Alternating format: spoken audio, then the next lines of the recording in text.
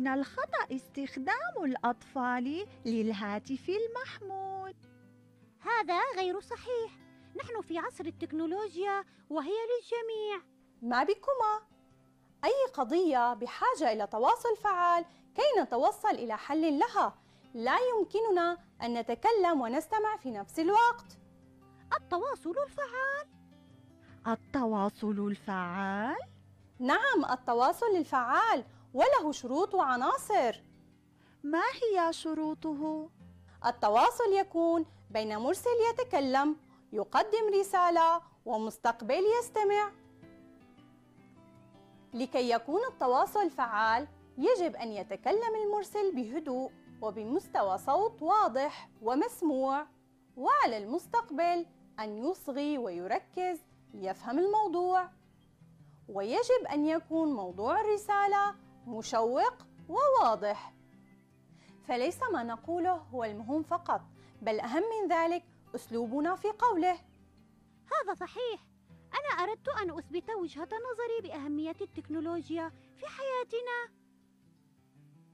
لكن للتكنولوجيا أضرارا كبيرة على حياتنا. كل منكم لديه رأي ورسالة يقدمها. لنقدم رأينا بوضوح وهدوء ونستمع للرأي الآخر لكي نتوصل إلى حل. حسنا نحن موافقون. تقدمت الحياة وأصبح استخدام التكنولوجيا جزءا مهما في العمل والبيت والمجتمع. هذا صحيح لكن في بعض الأحيان يتعلم الأطفال العنف من خلال الألعاب الإلكترونية. لكن ليست كل الوسائل التكنولوجية ضارة. يوجد منها ما هو نافع ويمكن الاستفادة منه وخاصة وسائل التواصل الاجتماعي مثل الفيسبوك والواتساب. من خلال هذه الوسائل يمكن استغلال الأطفال لذلك فهي غير جيدة. بوجود قانون الجرائم الإلكترونية يمكننا أن نحمي أنفسنا. كما يمكننا الاستفادة من التكنولوجيا ووسائل التواصل من خلال ترشيد استخدامها لوقت الضرورة فقط. هذا صحيح يا رامز. لقد كنت أخاف من استخدام التكنولوجيا ووسائل التواصل لكن الآن توضحت الصورة لدي. أحسنتم تالا ورامز. لقد استخدمتم شروط التواصل الفعال وتوصلتم لحل رائع. والآن سنتواصل مع صديقنا عبقر. مرحبا صديقنا عبقر. هل يمكنك أن تزودنا ببعض النصائح؟ للاستخدام الآمن للتكنولوجيا ووسائل التواصل الاجتماعي؟ مرحبا أصدقائي علينا أن نكون حذرين جدا عند استخدام التكنولوجيا ووسائل التواصل الاجتماعي. علينا أن نحذر من الرسائل التي تطلب معلومات شخصية. وأيضا عدم تحميل برامج وألعاب غير معروفة. علينا عدم فتح الروابط المجهولة.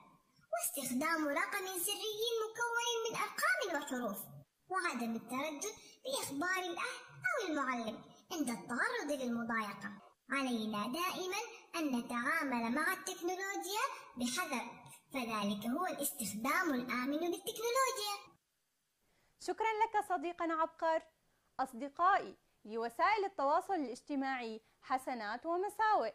علينا أن نستفيد منها ونحمي أنفسنا من التعرض للاستغلال من أحدها. والآن حان وقت لعبة ماذا لو مع صديقنا سنجوب. مرحبا أصدقائي. نحن الآن بحاجة لوسيلة تواصل للوصول إلى حل للمواقف التي تواجهونها. ماذا لو احتجت لاستشارة طبيب في وقت متأخر؟ أستخدم الهاتف المحمول. لو أضعت الطريق ولم تعرف بأي اتجاه تذهب؟ أستخدم خدمة تحديد الموقع GPS الخرائط والتنقل وأستدل على الاتجاه الصحيح ماذا لو طلبت منك المعلمة جمع معلومات حول مكان أثري في بلد غير بلدك؟